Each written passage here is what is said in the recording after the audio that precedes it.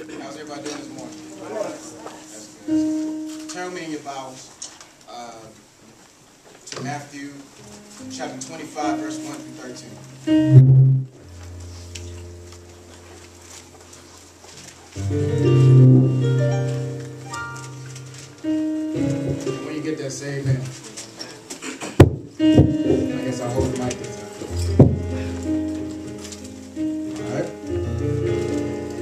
Says, Then shall the kingdom of heaven be likened unto ten virgins, which took their lamps and went forth to meet the bridegroom.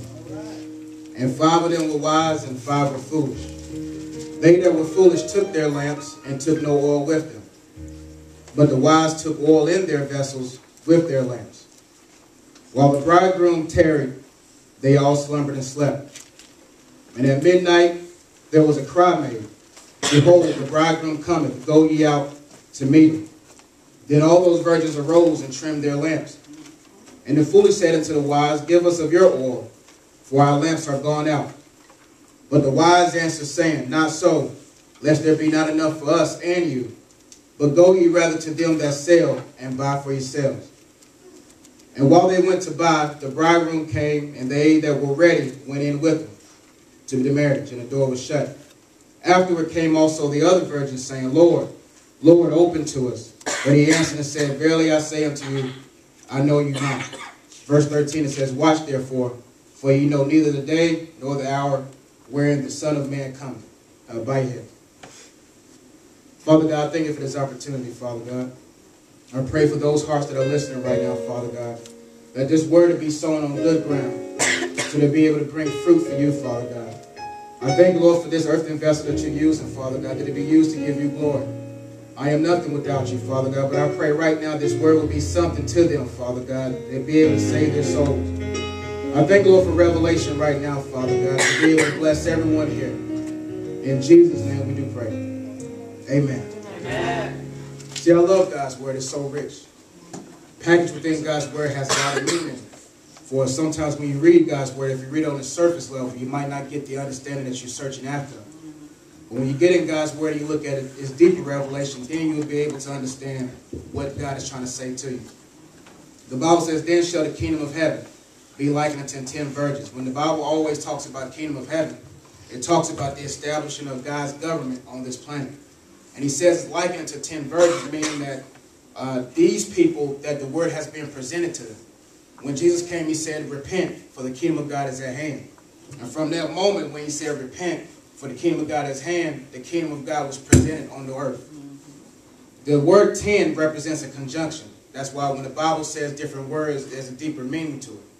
The word 10 in this revelation means a conjunction. That means two properties working at the same time. And when you go on, it says, which took their lamps. Their lamps represents their soul. It represents what they have on the inside. And went forth to meet the bridegroom. The Bible says that five of them were wise and five were foolish. I'm to put the mic up here. I'm sorry. Get some more.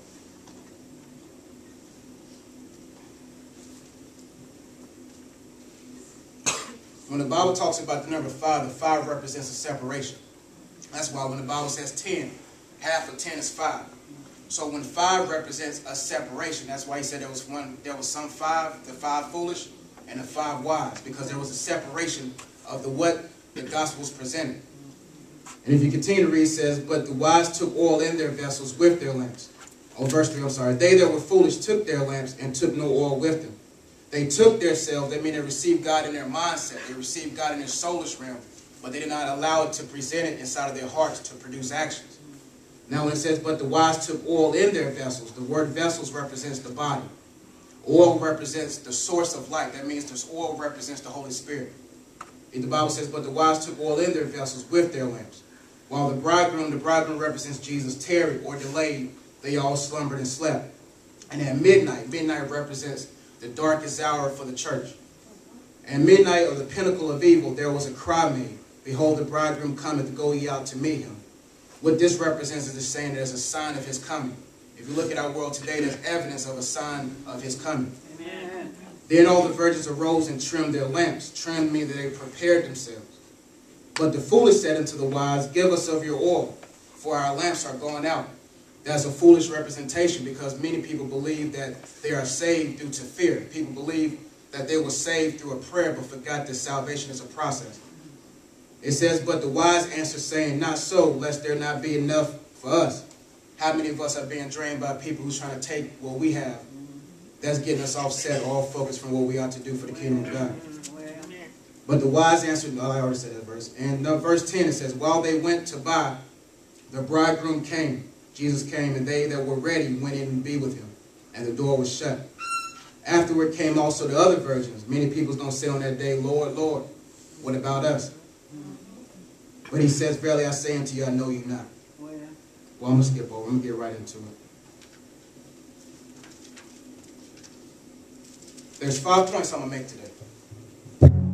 The first point, uh, if you're taking notes, is the kingdom. Since the beginning of time, God spoke within earth. He said, before he even created man, he said, let us make man in our image. God spoke within of himself, let us make man within our own image, to three parts beings. God the creator, God the savior, which was Jesus Christ, and God the Holy Spirit.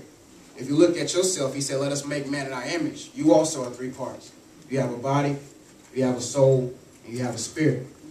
God already knew that before the earth was even formed, that man was going to be able to choose against him. That's why people say, you know, why is there evil in the world? The question is, why is there, why, what's the question about it? Because evil proves that there is God. I learned from a pastor, he said, um, if you believe that there's some, if there's a such thing as evil, then you have to believe there's a such thing as good. If you believe that there's evil and good, you have to believe that there's a moral law or a, a premises that judges whether or not what is good and what is evil. And from that, you have if there's a moral law, then there has to be a moral lawgiver. There has to be someone to give that law. So evil in and of itself proves there's a God. Let me get some water. I'm sorry.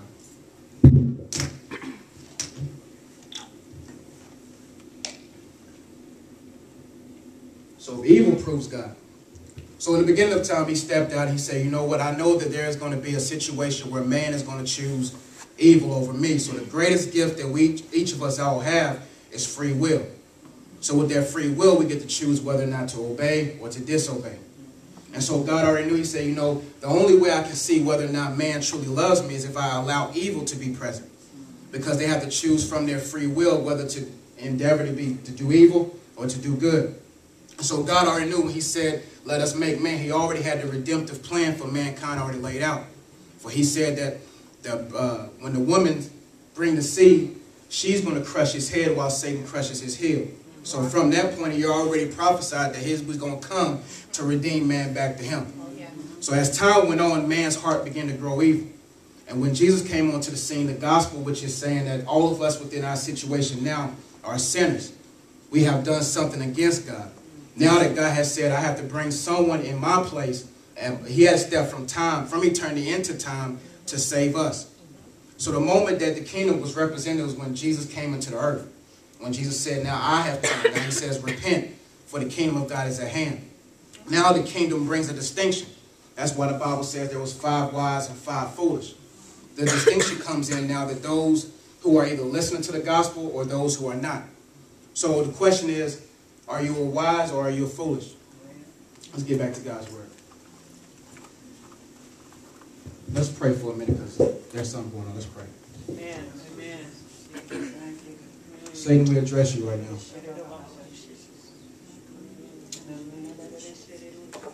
Thank you, Jesus, for who you are. We thank you right now for the sensitivity to the Spirit, Father God. We rebuke any demonic forces right now that's coming against this message right now, Father God, that's hindering my concentration. Thank you, Father God, for who you are in my life. I think that I'm just a vessel being used by you. Say you have no authority over this message. You have no authority over this man of God. Right now, the Spirit of God will speak through this man of God with clarity. You have no authority right now in Jesus' name. Father God, we love you for we're going to have church today. Thank you, Lord. Thank you. Thank you. In Jesus' name. Amen. Amen.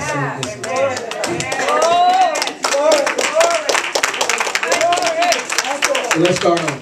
Thank you, Lord. Turn me in your Bibles to Matthew 25, 1 through 13. We're going to start over. We're going to do it right this time. Then shall the kingdom of heaven be likened unto ten virgins, which took their lamps and went forth to meet the bridegroom. And five of them were wise, and five were foolish. They that were foolish took their lamps and took no oil with them, but the wise took oil in their vessels with their lamps. While the bridegroom tarried, they all slumbered and slept. And at midnight there was a cry made, Behold, the bridegroom cometh. Go ye out to meet him. Then all those virgins rose and trimmed their lamps. And the foolish said unto the wise, Give us of your oil, for our lamps are gone out. But the wise answered, saying, Not so, lest there be not enough for us and you. But go ye rather to them that sell and buy for yourselves. and while they went out to buy, the bridegroom came, and they that were ready went in to be with him into the marriage, and the door was shut. Afterward came also the other virgins, saying, Lord, Lord, open to us. But he answered and said, Verily I say unto you, I know you not. The key verse, Watch therefore, for ye know not, neither the day nor the hour wherein the Son of Man cometh. All right, let's do this, okay? The kingdom of God was represented in this. Before God created heaven and earth, he already knew within his mind the redemptive plan for mankind. He spoke within himself. He said, let us make man in our image. He didn't speak to his left or to his right. He spoke within of himself three parts. Now, within yourself, you also have three parts. You have a body, you have a soul, and your spirit. Within that image, God created the source of life.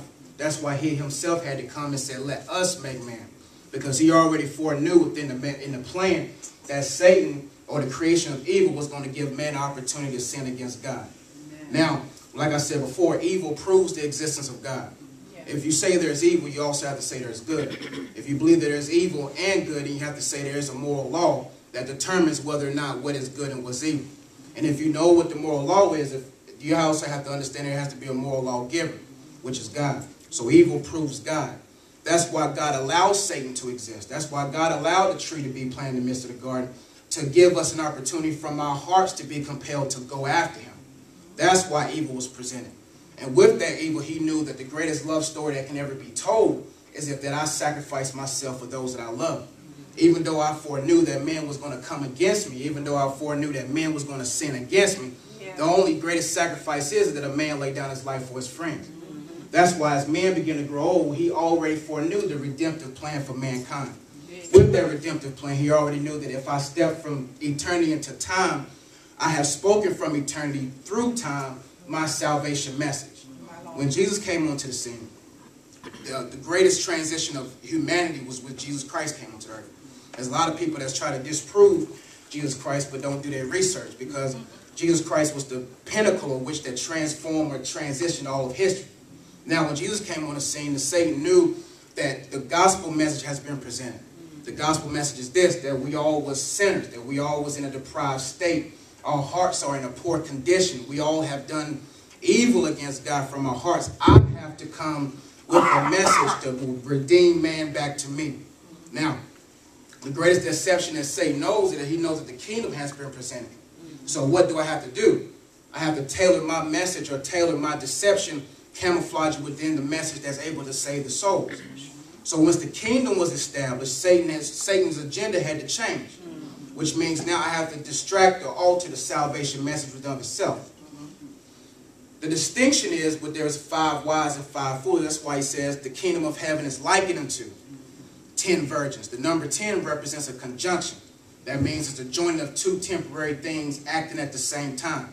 That means you have evil and good operating at the same time. The number five makes a distinction. It divides. That's why there's five wise and five foolish because within that ten, where the gospel has been presented, there is five wise and five foolish. Now the Bible says, let's go back to the scripture. The Bible says that the five foolish took their lamps, which means that they understood the gospel message within their intellect only. They only understood God's message based upon I've heard. The Bible says there's a difference between those that hear and those that hear and do. If you're a hearer only, you only operate because you've heard. I can tell you right now that the place is on fire, you heard it. But the people that understood it would be the ones that left. That's the difference. So when you are a here, the foolish says, let's go to the scripture, says, they that were foolish took their lamps and took no oil. That means they received the gospel. They received the message of Jesus Christ in their intellect only. When the gospel message was presented saying that your soul was evil or your soul has sinned against God, now that person's soul, or they received the, only that part of the message, but didn't allow the message to change their lives. Mm-hmm. There's a lot of people who are living foolish today because they only received the message by saying, oh, I said a prayer five years ago, so I have my fire insurance. Or, or I, I did this 20 years ago, so I'm all right. But we have to understand that salvation is much more than a prayer. It's a process. Mm-hmm. It's a process in which you have to walk out your own salvation with fear and trembling. Amen. That's why they took no oil, which means the oil represents the Holy Spirit, which is the source of life. That means that's a difference. Like this, um, I'm gonna get back to that later. But the Bible says that the wise, the wise are those. But the wise took oil in their vessels. Vessels represents us, our bodies. Our body gives us world conscious. That means through my senses, I can touch. Let's say if I go to one of my sisters. These are my two sisters back here, but ain't they beautiful? my body is touching her now, but my soul is hugging her. There's a difference. Yeah. Because through my senses, the, my body gives me world conscious. That means I taste, I smell, I feel. I, all of my senses I do through my body. But it's my soul that gives my touch meaning. It's from our soul that gives our touch meaning. The soul represents our mind and our will. Your mind is separated into six compartments. Your mind is your mind has thoughts, it has memories, it has ideas, it has perceptions, it has a knowledge system, and it has emotions. Your mind has six components in it. That's why the Bible says you have to renew your mind. You just don't renew one aspect of it, you have to renew all six categories of it. Each of those six components within your mind uh, intertwines with each other. If I have a negative memory, it triggers negative thoughts. If I have negative thoughts, it triggers negative emotions. If it triggers negative emotions, it gives me a negative perception about people. If I have negative perception about people, it gives me a negative idea about a person. And if it gives me a negative idea, then it serves as a memory in my mind, or it gives me knowledge about that individual. So your soul represents a lot to offer. It has a lot to offer. What the Satan is knowing, he said, if I can get to the soul of a man, because your soul represents the core of your being. Your soul is in between your spirit, those that have it, whose spirits are enlightened, and your body. And that's why the Bible says you got to kill the deeds of the flesh. Because through your senses, Satan knows that there's different urges or different things that the body gravitates to. I'm a man. I naturally want to be successful. I naturally want the affections of a woman. But the thing is, when that boundary crosses certain boundary, now I'm leaning over to my flesh. That's why my soulish realm, even though I might touch a woman, it's touching her, but through my soulish realm, I'm either loving her or lusting after her. It's your soulish realm. That's why the Bible says, He's not, not the Bible says, but God is not going to judge you by the results of your actions. He's not going to judge you how often you pay your tithes. He's not going to judge you how often you do all the works for him. He's going to judge you by the content of your heart. What's inside of your soulish realm. That's why he says the distinction is between when the gospel is presented. The reason why people have been deceived because they came under a partial gospel. See, we have to understand what this is salvation. You cannot go into salvation off emotion alone. That's why a lot of people, there's a lot of deception that goes on at the altar call. They play music. They do different things to draw you to the altar. And then when you come to the altar off your emotions, you never really change. Because once your emotions die down, then all of a sudden you still go back to your sinful ways. When Jesus comes in your life, there's a change. There's, there's, no, there's no evidence of your past. The Bible says they that are in Christ are a new creature. How can you be new practicing old things? That's what we have to understand that salvation has to come through your reasoning, it has to come from your understanding of the gospel.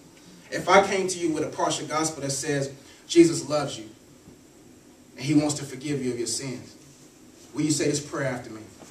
That's a partial gospel. That's only one aspect of it. What about the aspect that says repent, turn, change? The Bible says in Second Chronicles 7:14, if my people which are called by my name will humble themselves and pray, seek my face, turn from their wicked ways, then the Bible says, then I will hear from heaven and forgive them of their sins. You cannot be forgiven unless there's humility. That's why evil does such a great job in humbling people. Uh, like say 2009, 2008 was a great humbling year for me. Two years. Through those two years, I went through a lot of trials that humbled me. I had to be humble because it's only through humility that you can that you can understand the gospel message. That's why a lot of people say, "Why is there earthquakes? Why is there hurricanes? Why is there people dying? Why bad things happen to good people?" The thing is, it takes it might take a dead person to wake somebody up. It may take a hurricane to wake you up. It may take an earthquake to wake you up because you know why? I'd rather suffer in this life and go to heaven than to live this life with luxury and go